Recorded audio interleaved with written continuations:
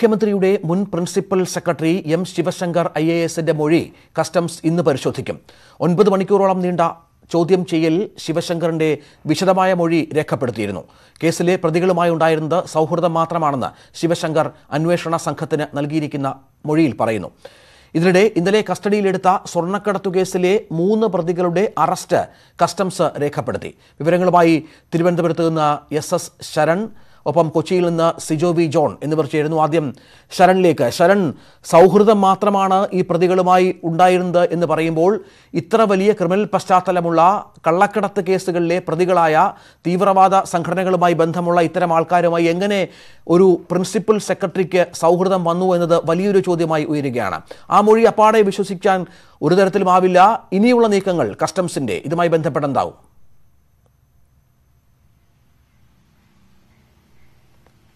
രഞ്ജിത്ത് തീർച്ചയായിട്ടും ശിവശങ്കർ നൽകിയ മൊഴിയൊന്നും തന്നെ കസ്റ്റംസ് മുഖബലയ്ക്ക് എടുത്തിട്ടില്ല എന്നാണ് നമുക്ക് മനസ്സിലാക്കാൻ സാധിച്ചിട്ടുള്ളത്. ഏതായാലും ഇന്നലെ നടന്ന വിശദമായ ചോദ്യം ചെയ്തൽ അതിന് പിന്നാലെയുള്ള തുടർ നടപടികൾ ഇന്ന് തന്നെ കസ്റ്റംസിന്റെ ഭാഗത്തു നിന്നുണ്ടാകുമെന്നാണ് നമുക്ക് അറിയാൻ കഴിയുന്നത്. പ്രധാനമായും എം ശിവശങ്കറിനെ വീണ്ടും ചോദ്യം ചെയ്യുന്ന നടപടികളിലേക്ക് കസ്റ്റംസ് വീണ്ടും കടന്നേക്കാമെന്ന സൂചനകളും ഉണ്ട്. ഇന്നലെ വൈകിട്ട് നാലരയോടുകൂടിയാണ് നാലരയോട് കൂടിയാണ് കസ്റ്റംസ് ഉദ്യോഗസ്ഥർ എനിക്ക് പിന്നിൽ കാണുന്ന ശിവശങ്കറിന്റെ പൂജപ്പുരയിലുള്ള ഈ വീട്ടിലേക്ക് എത്തിയത്. അതിനുശേഷം ചോദ്യം ചെയ്യലിന് ഹാജരാകാൻ നോട്ടീസ് നൽകുന്നു. തുടർന്ന് അരമണിക്കൂറിനുള്ളിൽ തന്നെ ശിവശങ്കർ തിരുവനന്തപുരത്തെ കസ്റ്റംസ് ഓഫീസിൽ എത്തുകയും ചെയ്തു. അതിനുശേഷമാണ് ഒൻപത് മണിക്കൂറിലേറെ നീണ്ട ചോദ്യം ചെയ്യൽ നടക്കുകയും ചെയ്തിരുന്നത്. പ്രധാനമായും ഈ സ്വർണക്കടത്ത് സംഘവുമായിട്ട് ബന്ധമുണ്ടോ? ഇതോടൊപ്പം തന്നെ സ്വർണക്കടത്തിലെ പ്രതികളുമായി ബന്ധമുണ്ടോ? ഒപ്പം തന്നെ തന്റെ പദവി ദുരുപയോഗപ്പെടുത്തിക്കൊണ്ട് ഏതെങ്കിലും രീതിയിലുള്ള സഹായം ആർക്കെങ്കിലും നൽകിയിട്ടുണ്ടോ എന്നടക്കമുള്ള ചോദ്യങ്ങൾ തന്നെയാണ് കസ്റ്റംസിന്റെ ഭാഗത്തു നിന്ന് ഉണ്ടാവുകയും ചെയ്തിരുന്നത്. ഈ ചോദ്യങ്ങളോടെല്ലാം തന്നെ കൃത്യമായി പ്രതികരിക്കുന്ന ഒരു സമീപനം തന്നെയാണ് എം ശിവശങ്കറിന്റെ ഭാഗത്തു നിന്നുണ്ടായത്. എങ്കിൽ പോലും അദ്ദേഹം പറഞ്ഞിരുന്നത് തനിക്ക് ഈ പ്രതികളുമായിട്ട് സൗഹൃദം മാത്രമാണ് ഉള്ള കാര്യമാണ് അതായത് തനിക്ക് ഈ പ്രതികളെ അറിയാം പ്രതികളുമായി സൗഹൃദമുണ്ട്. എന്നാൽ അതിനപ്പുറം വഴിവിട്ട ബന്ധമോ അല്ലെങ്കിൽ അത്തരത്തിൽ ഉള്ള നടപടികളൊന്നും തന്റെ ഭാഗത്തു നിന്ന് ഉണ്ടായിട്ടില്ല എന്ന് തന്നെയാണ് അദ്ദേഹം മറുപടിയായി നൽകിയിരുന്നത് ചെയ്തത്. ഏതായാലും ഈ മൊഴികളൊന്നും തന്നെ കസ്റ്റംസ് ഉദ്യോഗസ്ഥർ മുഖവിലേക്ക് എടുത്തിട്ടില്ല എന്നാണ് നമുക്ക് മനസ്സിലാക്കാൻ സാധിക്കുന്നത്. ഏതായാലും ഈ മൊഴി- മൊഴികളെല്ലാം തന്നെ ഇപ്പോൾ കൃത്യമായി പരിശോധനയ്ക്ക് വിധേയമാക്കും ഈ പരിശോധന കസ്റ്റംസ് ഇന്ന് ഈ മൊഴികൾ പരിശോധിക്കുമെന്ന് മനസ്സിലാകുന്നു. ശരൺ ഇനിയും ചോദ്യം ചെയ്യലിന്റെ സാഹചര്യങ്ങളുണ്ട്. ഇനിയും വിശദമായ കാര്യങ്ങൾ അന്വേഷിച്ച് അറിയേണ്ടതുണ്ട്. ഒപ്പം ഒരു അറസ്റ്റിലേക്ക് കാര്യങ്ങൾ നീങ്ങുമെന്ന് ഇന്നലെ തന്നെ ചില സൂചനകൾ വന്നിരുന്നു. ഇന്ന് ഇനി എന്താണ് നീക്കം? ഒരിക്കൽ കൂടി ചോദ്യം ചെയ്യാനുള്ള സാഹചര്യം ഇന്നാകുമോ? നാളെയാകുമോ? അത്തരത്തിൽ എന്തെങ്കിലും നീക്കം കസ്റ്റംസിന്റെ ഭാഗത്തു നിന്നുണ്ടോ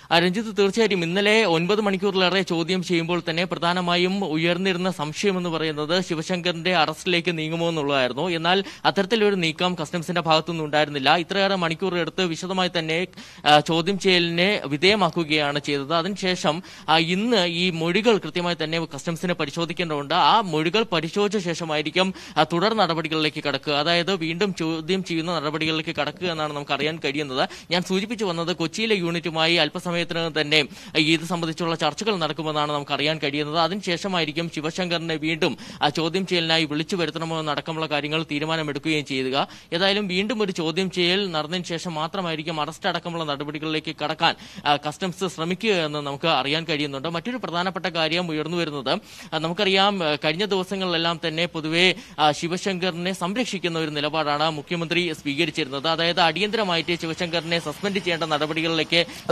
പ്രധാനപ്പെട്ട കാര്യമാണ് ശരൺ. കാരണം ഇന്ന് ചേരുന്നുണ്ട് ക്യാബിനറ്റ് യോഗം ചേരുന്നുണ്ട് എന്ന് മനസ്സിലാകുന്നു മന്ത്രിസഭാ യോഗം ഇന്നുണ്ട് എന്ന് മനസ്സിലാകുന്നു. ഈ ശിവശങ്കറിനെ ഇനി എത്ര കാലം മുഖ്യമന്ത്രി സംരക്ഷിക്കും? കാരണം ഓരോ ദിവസവും പുറത്തു വരുന്നത് പ്രത്യേകം പ്രത്യേകം വലിയ വലിയ തെളിവുകളാണ്. ഫോൺ സംഭാഷണം അടക്കം. കള്ളക്കടത്ത് കേസിലെ പ്രതികളുമായുള്ള ദീർഘനേരമുള്ള ഫോൺ സംഭാഷണം അടക്കം പുറത്തു വരുന്നു. ഈ സ്വപ്നയുമായുള്ള സൗഹൃദത്തിന്റെ കാര്യങ്ങൾ പുറത്തു വരുന്നു. ഇത്ര വലിയ ഗുരുതരമായ ഒരു തെറ്റു കാണിച്ച ഒരു ഉദ്യോഗസ്ഥനെ എത്ര കാലം ഇനി മുഖ്യമന്ത്രി സംരക്ഷിക്കും? ഇന്നലെയും മുഖ്യമന്ത്രി പറഞ്ഞത് ശിവശങ്കറിനെ പുറത്താക്കാനുള്ള സമയമായിട്ടില്ല എന്ന്. എന്ന് ഈ സമയമാകുമെന്നാണ് ഇനി നമ്മൾ ഉറ്റുനോക്കേണ്ടത്. അതിനുള്ള തീരുമാനം ഇന്നുണ്ടാകുമോ?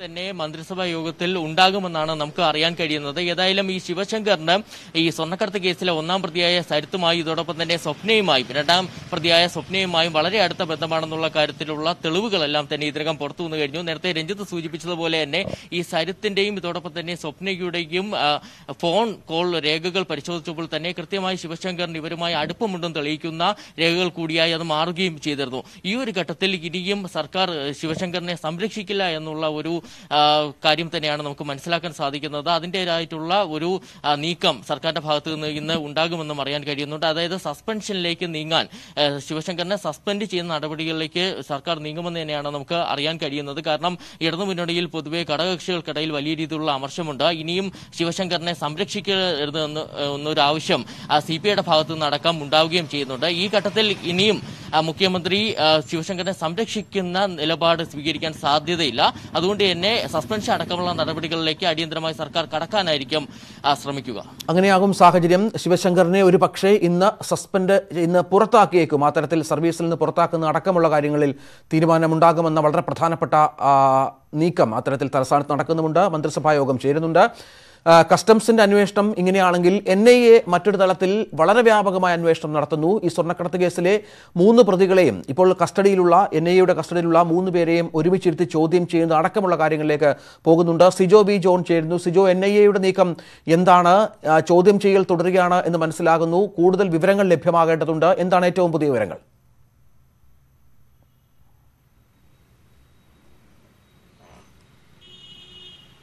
നിലവിൽ എട്ട് ദിവസത്തെ കസ്റ്റഡിയാണ് ഈ സ്വപ്നയും അതോടൊപ്പം തന്നെ സന്ദീപിനെയും എന്നേക്ക് നൽകിയിരിക്കുന്നത്. ഇന്നലെ ഒരു ദിവസം ചോദ്യം ചെയ്യൽ പൂർത്തിയായിരിക്കുകയാണ്. നിർണായകമായ വിവരങ്ങൾ ഇവരിൽ നിന്ന് ലഭ്യമായി എന്നാണ് പ്രതീക്ഷിക്കുകയും ചെയ്യുന്നത്. എന്തായാലും ഇതുമായി ബന്ധപ്പെട്ട കൂടുതൽ വിവരങ്ങൾ എൻ ഐ എ തേടുകയും ചെയ്തിട്ടുണ്ട്. ഇന്നലെ കസ്റ്റംസ് ഓഫീസിൽ ഉൾപ്പെടെ എത്തി എൻ ഐ എ ഇക്കാര്യങ്ങളിൽ കൂടുതൽ വിവരങ്ങൾ തേടുകയും ചെയ്തിട്ടുണ്ട്. ഏതായാലും കൊച്ചിയെ സംബന്ധിച്ചിടത്തോളം ഇന്ന് കൂടുതൽ നിർണായകമാകുക കസ്റ്റംസിന്റെ തീരുമാനം തന്നെയാണ്. പ്രത്യേകിച്ച് ഇന്നലെ തിരുവനന്തപുരത്ത് ശിവശങ്കറിന്റെ ചോദ്യം ചെയ്യലുമായി ബന്ധപ്പെട്ട വിവരങ്ങൾ തന്നെയാണ്.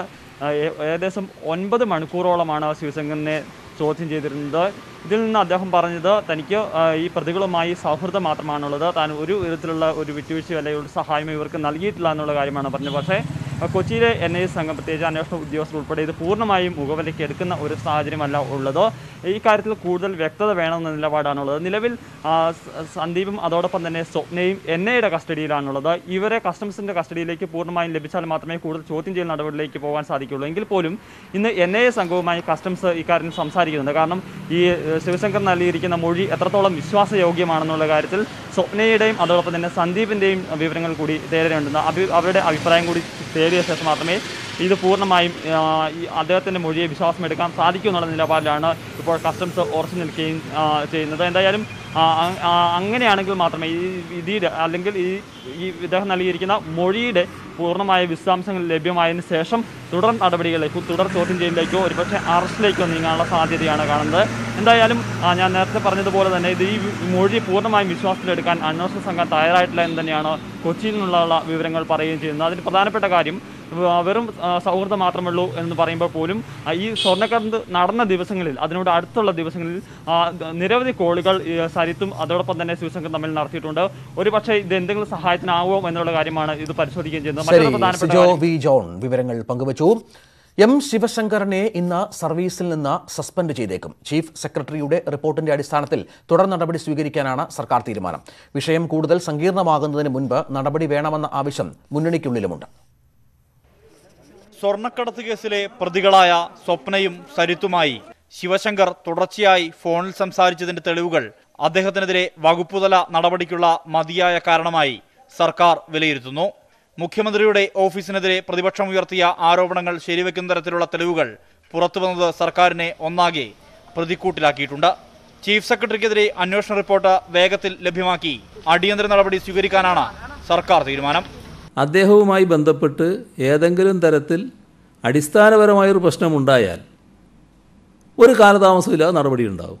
സർക്കാരിന്റെ പ്രതിച്ഛായ തകർക്കുന്ന വിഷയത്തിൽ അടിയന്തര നടപടി വേണമെന്ന ആവശ്യം മന്ത്രിസഭയിലുമുണ്ട്. ശിവശങ്കരനെ ഇനിയും സംരക്ഷിക്കരുതെന്ന വികാരം മുന്നണിയിലും ഉയർന്നു കഴിഞ്ഞു. News eighteen Thiruvananthapuram.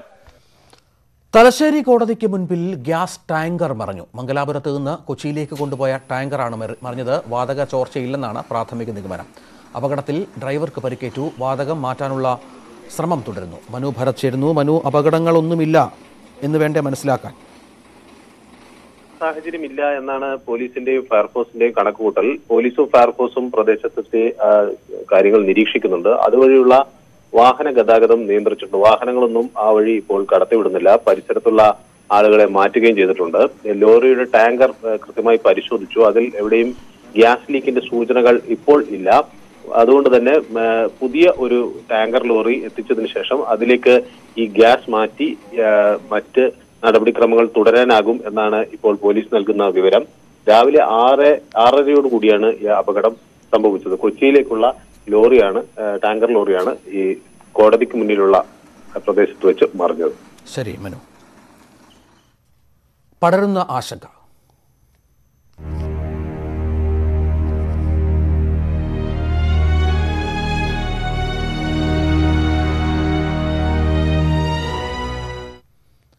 കേരളത്തിൽ സമ്പർക്കത്തിലൂടെ കോവിഡ് ബാധിക്കുന്നവരുടെ എണ്ണം കുത്തനെ ഉയർന്നു. മൂന്നാം ഘട്ടത്തിൽ ഇന്നലെ വരെ രണ്ടായിരത്തി ഇരുന്നൂറ്റി ഇരുപത്തിമൂന്ന് പേർക്കാണ് രോഗം പകർന്നത്. ഇതിൽ ഭൂരിഭാഗം കേസുകളും രണ്ട് ആഴ്ചക്കിടെയാണ് റിപ്പോർട്ട് ചെയ്തത്. ക്ലസ്റ്ററുകൾക്ക് പുറത്തേക്കും രോഗം പകർന്നാൽ കേരളത്തിൽ സമൂഹവ്യാപനം സ്ഥിരീകരിക്കും. പുറത്തുനിന്ന് വന്ന കോവിഡ് രോഗികളുടെ എണ്ണത്തേക്കാൾ ഇന്നലെ ആദ്യമായി സമ്പർക്കത്തിലൂടെ രോഗം ബാധിച്ചവരുടെ എണ്ണം മുകളിലെത്തി. ആകെ റിപ്പോർട്ട് ചെയ്ത അറുന്നൂറ്റിയെട്ട് രോഗികളിൽ മുന്നൂറ്റി തൊണ്ണൂറ്റാറും സമ്പർക്കമായിരുന്നു. വിവിധ ക്ലസ്റ്ററുകളിൽ രോഗം അനിയന്ത്രിതമായി പടരുകയാണ്. ഇനി സമൂഹവ്യാപനം എന്ന ഏറ്റവും അപകടകരമായ ഘട്ടമാണ് മുന്നിൽ. നമ്മുടെ സംസ്ഥാനം അനുദിനം കോവിഡ് വ്യാപനത്തിന്റെ രൂക്ഷതയിലേക്ക് പോകുന്നുവെന്നാണ്. മെയ് നാലിന് ശേഷം എണ്ണായിരത്തി നാനൂറ്റി മുപ്പത്തി ഒന്ന് പേർക്കാണ് ഇന്നലെ വരെ രോഗം സ്ഥിരീകരിച്ചത്. ഇതിൽ സമ്പർക്ക രോഗികളുടെ എണ്ണം രണ്ടായിരത്തി ഇരുന്നൂറ്റി ഇരുപത്തി മൂന്നാണ് സമ്പർക്ക രോഗികളുടെ എണ്ണം പത്ത് ശതമാനത്തിൽ താഴെയായിരുന്നു. എന്നാൽ രണ്ടാഴ്ച കൊണ്ട് സമ്പർക്കത്തിലൂടെ രോഗികളുടെ എണ്ണം ഇരുപത്തിയാറ് ശതമാനത്തിലധികമായി ഉയർന്നു. തിരുവനന്തപുരത്താണ് ഏറ്റവും കൂടുതൽ പേർക്ക് സമ്പർക്കത്തിലൂടെ രോഗം പകർന്നത്. എഴുന്നൂറ്റി പന്ത്രണ്ട് പേർ. ആലപ്പുഴയിൽ ഇരുന്നൂറ്റി അമ്പത്തൊമ്പതും എറണാകുളത്ത് ഇരുന്നൂറ്റി മുപ്പത്തിയഞ്ചും മലപ്പുറത്ത് ഇരുന്നൂറ്റി പത്തൊമ്പത് പേർക്കും സമ്പർക്കത്തിലൂടെ കോവിഡ് ബാധിച്ചു. News eighteen Thiruvananthapuram.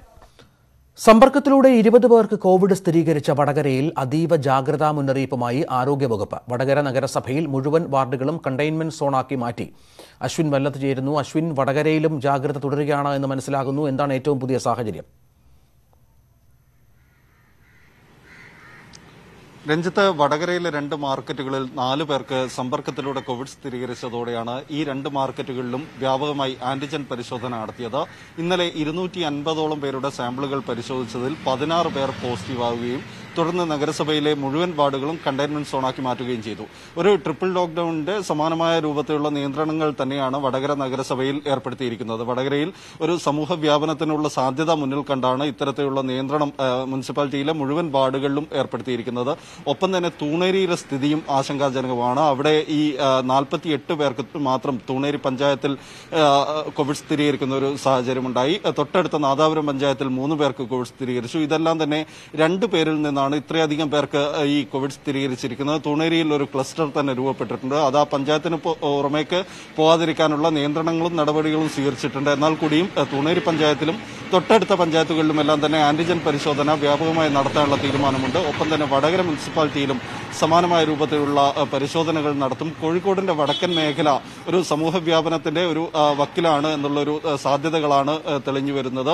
അത്തരത്തിൽ ഈ മേഖലയിലെല്ലാം കഴിഞ്ഞ ദിവസം ഹാർബറിലൊക്കെ ഇത്തരം ഇത്തരം പരിശോധനകൾ നടത്തിയിരുന്നു എന്നാൽ ഹാർബറിലെ റിസൾട്ടുകൾ നെഗറ്റീവായിരുന്നു. പക്ഷേ ഈ നഗര നഗരത്തിലെ മാർക്കറ്റുകൾ കേന്ദ്രീകരിച്ചാണ് ഇത്തരത്തിൽ സമ്പർക്കത്തിലൂടെയുള്ള കോവിഡ് കേസുകൾ ഉയരുന്നത് എന്നത് ആശങ്കാജനകമാണ്. ജില്ലയിലെ ഏറ്റവും പ്രധാനപ്പെട്ട മാർക്കറ്റാണ് വടകരയിലെ അടക്കാത്തെരുവിലെ കൊപ്ര ബസാർ ഒപ്പം തന്നെ വടകര കോട്ടപ്പറമ്പ് ചന്തയിലും സമാനമായ സാഹചര്യമുണ്ടായി. അതിനെ തുടർന്നാണ് വടകര നഗരം മുഴുവനായിട്ട് അടച്ചിടാനുള്ള ഒരു തീരുമാനമുണ്ടായത്. കോഴിക്കോട് നഗരത്തിലും സമാനമായ നിയന്ത്രണങ്ങൾ ഏർപ്പെടുത്താവുന്നതിനെക്കുറിച്ച് ആലോചിക്കുന്നുണ്ട്. ഏതായാലും ജില്ല വിട്ട് ആരും തന്നെ ജില്ല വിട്ട് പോകുന്നവർ ഈ വാർഡ് ആർ ആർ ടിമാരെ നേരത്തെ അറിയിക്കണം. ജില്ലയ്ക്ക് പുറത്ത് എന്തെങ്കിലും കാരണവശാൽ പോകുന്നുണ്ടെങ്കിൽ അത് അറിയിക്കണം തുടങ്ങിയ മുന്നറിയിപ്പുകൾ ജില്ലാ കളക്ടറുടെ ഭാഗത്തു നിന്ന് വരുന്നു. അത്തരത്തിൽ കോഴിക്കോട് ജില്ല നേരത്തെ പൂന്തറയിലും പൊന്നാനിയിലും ഒക്കെ കണ്ടതുപോലെയുള്ള ഒരു സാഹചര്യത്തിലേക്ക് കോഴിക്കോട് ജില്ലയിലും സ്ഥിതി മാറുന്നു എന്നതിന്റെ സൂചനയാണ് ഇപ്പോൾ വരുന്ന പോസ്റ്റ് അശ്വിൻ വല്ലത്ത് വിവരങ്ങൾ പങ്കുവച്ചു. എറണാകുളത്ത് സമ്പർക്കം വഴി കോവിഡ് ബാധിതരുടെ എണ്ണം വർദ്ധിക്കുന്നു. തീരദേശ മേഖലയായ ചെല്ലാനത്ത് ഇതുവരെ നൂറ്റിമൂന്ന് പേർക്കാണ് രോഗം സ്ഥിരീകരിച്ചത്. ജില്ലയിലെ വിവിധ ആശുപത്രികളിലായി നാനൂറ്റി മുപ്പത് പേർ കോവിഡ് ബാധിച്ച് ചികിത്സയിലുണ്ട്. എറണാകുളം ജില്ലയിൽ ഏറ്റവും കൂടുതൽ കോവിഡ് കേസുകൾ കഴിഞ്ഞ ദിവസമാണ് റിപ്പോർട്ട് ചെയ്തത്. എഴുപത് കേസുകൾ റിപ്പോർട്ട് ചെയ്തതിൽ നാൽപ്പത്തിയാറ് പേർക്ക് രോഗവ്യാപനമുണ്ടായത് സമ്പർക്കത്തിലൂടെ. തീരദേശ മേഖലയായ ചെല്ലാനത്ത് കഴിഞ്ഞ ദിവസം ഇരുപത് പേർക്ക് കൂടി സമ്പർക്കത്തിൽ രോഗം സ്ഥിരീകരിച്ചു. ചെല്ലാനം പ്രദേശത്ത് മാത്രം നൂറ്റിമൂന്ന് പേർക്കാണ് സമ്പർക്കത്തിലൂടെ രോഗം. ആലുവയിൽ പതിമൂന്ന് പേർക്കും സമ്പർക്കം വഴി രോഗം സ്ഥിരീകരിച്ചു. ട്രിപ്പിൾ ലോക്ക്ഡൌൺ ഏർപ്പെടുത്തിയിരിക്കുന്ന ചെല്ലാനത്ത് പരിശോധനകളുടെ എണ്ണം വർദ്ധിപ്പിച്ചു. അരിയുൾപ്പെടെയുള്ള ഭക്ഷ്യവസ്തുക്കൾ വീടുകളിൽ എത്തിക്കും. B P L I P L വ്യത്യാസമില്ലാതെ എല്ലാവർക്കും അഞ്ച് കിലോ അരി വീതം വീടുകളിൽ എത്തിക്കാനുള്ള നടപടി സ്വീകരിച്ചിട്ടുണ്ട്. അതിൽ ക്വാറന്റൈനിൽ ഇരിക്കുന്ന ആളുകളുടെ വീടുകളിലെല്ലാം വളണ്ടിയർമാർ എത്തിച്ചു കൊടുക്കും. ബാക്കിയുള്ളവർക്കെല്ലാം തന്നെ റേഷനറി വാങ്ങാൻ ആവശ്യമായ സൗകര്യം ഏർപ്പെടുത്തിയിട്ടുണ്ട്. കൂടുതൽ കേസുകൾ റിപ്പോർട്ട് ചെയ്യുന്ന സാഹചര്യത്തിൽ ആലുവ കീഴ്മാട് പഞ്ചായത്ത് ചെല്ലാനം എന്നിവിടങ്ങളിൽ അതീവ ജാഗ്രതാ നിർദ്ദേശമാണ് നൽകിയിട്ടുള്ളത്. News eighteen Kochi. കോവിഡ് മാനദണ്ഡങ്ങൾ ലംഘിച്ച് സംസ്ഥാനത്ത് സമരവും പ്രതിഷേധവും പാടില്ലെന്ന് ഹൈക്കോടതി. രാഷ്ട്രീയ പാർട്ടികൾ കോവിഡ് മാർഗനിർദ്ദേശങ്ങൾ കർശനമായി പാലിക്കുന്നുണ്ടെന്ന് സർക്കാർ ഉറപ്പാക്കണമെന്നും ഹൈക്കോടതി ഉത്തരവിട്ടു. മാനദണ്ഡങ്ങൾ ലംഘിച്ച് സമരം സംഘടിപ്പിക്കുന്ന രാഷ്ട്രീയ പാർട്ടികൾക്കെതിരെ നടപടി ആവശ്യപ്പെട്ട് നൽകിയ ഹർജിയിലാണ് ഇടക്കാല ഉത്തരവ്.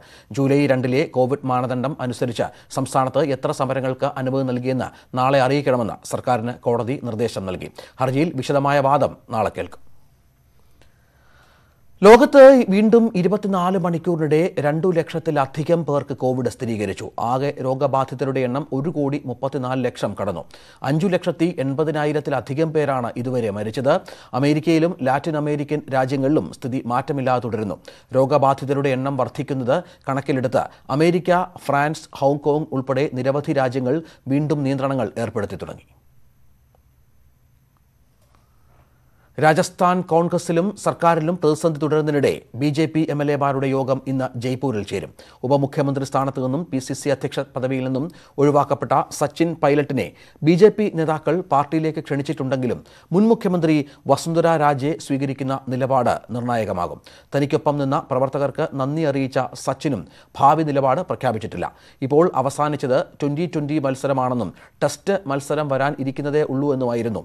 ഒഴിവാക്കപ്പെട്ട മന്ത്രി വിശ്വേന്ദ്ര സിംഗിന്റെ പ്രതികരണം. ഇന്നലെ രാത്രി മുഖ്യമന്ത്രി അശോക് ഗെഹ്ലോട്ടിന്റെ വസതിയിൽ ചേർന്ന മന്ത്രിസഭാ യോഗം രാഷ്ട്രീയ സാഹചര്യവും മന്ത്രിസഭാ വികസനവും ചർച്ച ചെയ്തു. രണ്ട് ഉപമുഖ്യമന്ത്രിമാർ ഉണ്ടാകുമെന്നാണ് സൂചന. നാളെയോ മറ്റന്നാളോ ആയി സത്യപ്രതിജ്ഞ നടത്താനാണ് ധാരണ. എന്നാൽ ഗെഹ്ലോട്ട് സർക്കാരിന് ഭൂരിപക്ഷമില്ലെന്നും വിശ്വാസ വോട്ട് തേടണമെന്നുമാണ് ബി ആവശ്യം. ഹയർ സെക്കൻഡറി പരീക്ഷാ ഫലം ഇന്ന് പ്രഖ്യാപിക്കും. ഉച്ചയ്ക്ക് രണ്ടിന് വിദ്യാഭ്യാസ മന്ത്രിയാണ് ഫലം പ്രഖ്യാപിക്കുക. രണ്ട് ഘട്ടങ്ങളിലായിട്ടായിരുന്നു മൂല്യനിർണയം. സംസ്ഥാനത്തെ എട്ട് കേന്ദ്രീകൃത മൂല്യനിർണയ ക്യാമ്പുകളിലായി മൂവായിരത്തി ഇരുപത് അധ്യാപകരെ കോവിഡ് മാർഗനിർദ്ദേശങ്ങൾ അനുസൃതമായി ക്രമീകരിച്ചായിരുന്നു മൂല്യനിർണയം. ജൂൺ ഇരുപത്തിനാലിന് മൂല്യനിർണയം പൂർത്തിയായി. രണ്ടു ഘട്ടങ്ങളിലായാണ് പരീക്ഷ നടന്നത്. സി ബി എസ് ഇ പത്താം ക്ലാസ് പരീക്ഷാ ഫലം ഇന്ന് പ്രഖ്യാപിക്കും. എഴുതിയ പരീക്ഷകളുടെ മാർക്കിന്റെ ശരാശരി അടിസ്ഥാനമാക്കിയും ഇന്റേണൽ മാർക്കും കണക്കിലെടുത്താണ് ഫലം തയ്യാറാക്കുന്നത്. ഏറ്റവും മികച്ച മാർക്ക് ലഭിച്ച മൂന്ന് വിഷയങ്ങളുടെ ശരാശരിയായിരിക്കും റദ്ദാക്കിയ പരീക്ഷകളുടെ മൂല്യനിർണയത്തിനായി എടുക്കുക. മൂന്ന് പരീക്ഷകൾ മാത്രമാണ് എഴുതിയതെങ്കിൽ രണ്ട് വിഷയങ്ങളുടെ മാർക്കിന്റെ ശരാശരി പരിഗണിക്കും. ഒന്നോ രണ്ടോ പരീക്ഷകൾ മാത്രം എഴുതിയ വിദ്യാർത്ഥികൾക്ക് ഇന്റേണൽ അസസ്മെന്റ് പരിഗണിച്ചാകും മൂല്യനിർണയം. മാർക്ക് കുറവാണെന്ന് തോന്നുന്ന വിദ്യാർത്ഥികൾക്ക് ഓപ്ഷണൽ പരീക്ഷ നടത്തും. എഞ്ചിനീയറിംഗ് ഫാർമസി പ്രവേശന പരീക്ഷകൾ നാളെ. കേരളത്തിന് പുറമെ ഡൽഹി മുംബൈ ദുബായ് എന്നിവിടങ്ങളിലും ഒരു ലക്ഷത്തി പതിനായിരത്തി ഇരുന്നൂറ്റി അൻപത് വിദ്യാർത്ഥികൾ പരീക്ഷ എഴുതുന്നുണ്ട്. ഏപ്രിൽ ഇരുപത് ഇരുപത്തിയൊന്ന് തീയതികളിലായി നടത്താൻ നിശ്ചയിച്ചിരുന്ന പരീക്ഷയാണ് കോവിഡ് കാരണം നീണ്ടുപോയത്. കോവിഡിന്റെ പശ്ചാത്തലത്തിൽ പരീക്ഷകൾ മാറ്റിവെക്കണമെന്ന് പല കോണുകളിൽ നിന്ന് അഭിപ്രായമുയർന്നു എങ്കിലും പരീക്ഷ നടത്താമെന്ന ഉറച്ച തീരുമാനവുമായി സർക്കാർ മുന്നോട്ടു പോവുകയായിരുന്നു. അതുകൊണ്ട് തന്നെ പ്രത്യേക ക്രമീകരണങ്ങളും പൂർത്തിയാക്കി. ഒരു ലക്ഷത്തി പതിനായിരത്തി ഇരുന്നൂറ്റി അൻപത് വിദ്യാർത്ഥികൾ കീം പരീക്ഷ എഴുതുന്നുണ്ട്. Containment zone hotspot triple lockdown മേഖലകളിൽ കോവിഡ് വ്യാപനം തടയുന്നതിന് വേണ്ട മുൻകരുതലുകൾ സ്വീകരിച്ചാണ് പരീക്ഷയ്ക്ക് ഒരുക്കങ്ങൾ. പരീക്ഷയ്ക്ക് മുൻപും ശേഷവും എല്ലാ പരീക്ഷാ കേന്ദ്രങ്ങളും ഫയർഫോഴ്സ് അണുവിമുക്തമാക്കും. സുരക്ഷാ ക്രമീകരണങ്ങൾ നടപ്പാക്കുന്നതിന് മൂവായിരത്തോളം സന്നദ്ധ സേനാ പ്രവർത്തകരെ വിനിയോഗിച്ചു. കുട്ടികളുടെ തെർമൽ സ്കാനിംഗ് സാനിറ്റൈസിംഗ് എന്നിവയ്ക്ക് ശേഷമാകും ഹാളിലേക്ക് പ്രവേശനം. ഇതര സംസ്ഥാനക്കാരായ വിദ്യാർത്ഥികൾക്കും ക്വാറന്റീനിൽ നിന്നെത്തുന്ന വിദ്യാർത്ഥികൾക്കും പ്രത്യേക റൂമുകൾ സജ്ജീകരിച്ചു. യാത്രാ സൗകര്യം ലഭ്യമാക്കുന്നതിനായി K S R T C പ്രത്യേക സർവീസ് നടത്തും. പരീക്ഷാ കേന്ദ്രങ്ങളിലേക്ക് വിദ്യാർത്ഥികളുടെ ആവശ്യപ്രകാരം രാവിലെയും വൈകുന്നേരവും സ്പെഷ്യൽ സർവീസ് നടത്തും. കൂടാതെ ആവശ്യാനുസരണം സർവീസിനായി ബസ് ഓൺ ഡിമാൻഡും ക്രമീകരിച്ചു. പരീക്ഷാ കേന്ദ്രങ്ങളിലും ബസ് സ്റ്റോപ്പുകളിലും ഉണ്ടാകാനിടയുള്ള തിരക്കൊഴിവാക്കി സാമൂഹിക അകലം ഉറപ്പാക്കുന്നതിന് പോലീസിന് സഹായം ഉറപ്പാക്കും. തിരുവനന്തപുരം ജില്ലയിലെ സൂപ്പർ സ്പ്രെഡ് മേഖലകളിൽ നിന്നുള്ള എഴുപത് വിദ്യാർത്ഥികൾ Valiyathura saint Antony's H S എസിൽ പരീക്ഷ എഴുതും. ഡൽഹിയിലെ പരീക്ഷാ കേന്ദ്രത്തിന് അനുമതി ലഭിക്കാത്തതിനാൽ Faridabad J C Bose university of science and technology പുതിയ കേന്ദ്രമായി നിശ്ചയിച്ചിട്ടുണ്ട്. അന്യസംസ്ഥാനക്കാരായ വിദ്യാർത്ഥികൾക്ക് ഈ ജാഗ്രതാ പോർട്ടൽ വഴി ഷോർട്ട് വിസിറ്റ് പാസ് ലഭ്യമാക്കി. News eighteen Thiruvananthapuram. ലീഗ് വിരുദ്ധ നീക്കങ്ങളെ പരസ്യമായി വിമർശിച്ച സമസ്ത നേതാവിനെതിരെ സംഘടനാ നടപടി. സുന്നി മഹൽ ഫെഡറേഷൻ സംസ്ഥാന കമ്മിറ്റി അംഗം കുട്ടി ഹസൻ ദാരിമിക്ക് സമസ്ത കാരണം കാണിക്കൽ നോട്ടീസ് നൽകി.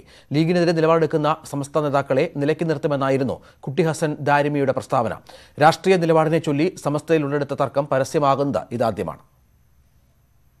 മുസ്ലിം ലീഗ് സ്വാധീനത്തിൽ നിന്ന് മാറി സമസ്ത സ്വതന്ത്ര നിലപാടെടുക്കുന്നതിനെതിരെയായിരുന്നു സംഘടനാ നേതാവും പ്രഭാഷകനുമായ കുട്ടി ഹസൻ ദാരിമിയുടെ വിമർശനം.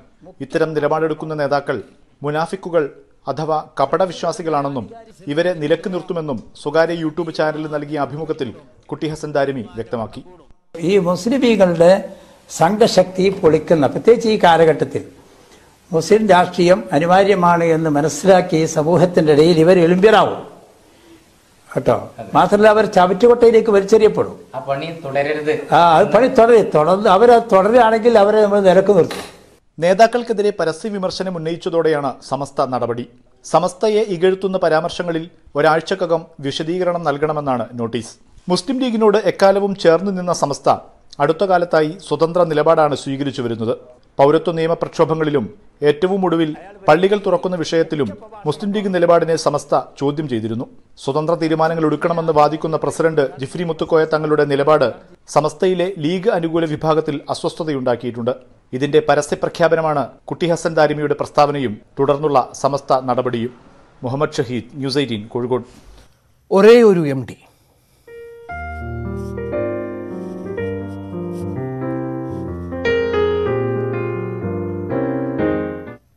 മലയാളിയുടെ പ്രിയ എഴുത്തുകാരൻ എം ടി വാസുദേവൻ നായർക്ക് ഇന്ന് എൺപത്തിയേഴാം പിറന്നാൾ. കോവിഡ് കാലമായതിനാൽ ആരവമൊഴിഞ്ഞുള്ള പിറന്നാൾ ദിനമാണ് എം ഡിക്കിത്. സന്ദർശകരില്ലാത്ത നാളുകളാണ് എം ഡിക്ക്. കോഴിക്കോട്ടെ കൊട്ടാരം റോഡിലെ സിതാരയിൽ എഴുത്തുകാരന് കൂട്ട് പുസ്തകങ്ങളും പത്രവുമെല്ലാം എൺപത്തിയേഴാം പിറന്നാൾ ദിനം ഇങ്ങനെ കടന്നുപോകും. ആളും ആരവുമില്ലാതെ ജന്മനാൾ അനുസരിച്ച് ഓഗസ്റ്റ് എട്ടിനാണ് കുടുംബത്തിന്റെ ആഘോഷം. കർക്കടകത്തിലെ ഉത്രട്ടാതി നക്ഷത്രം. കോവിഡിൽ തട്ടി കാലം നിശ്ചലമെന്ന് തോന്നിക്കുമ്പോഴും മലയാളി എം ഡിയെ വായിച്ചുകൊണ്ടിരിക്കുകയാണ്. ഇത്ര നീണ്ടകാലം വീട്ടിൽ കഴിയേണ്ടി വന്ന അനുഭവം എം ഡിക്ക് മുമ്പുണ്ടാകില്ല. പതിവ് രീതികൾ എല്ലാം മാറി. രോഗഭീതി മാറി എല്ലാം പഴയപടിയാകുന്ന കാലം വരുമെന്ന പ്രതീക്ഷയിലാണ് മലയാളിയുടെ സ്വകാര്യ അഹങ്കാരം. S Vinesh Kumar news eighteen Kozhikode. കായിക വാർത്തകൾ.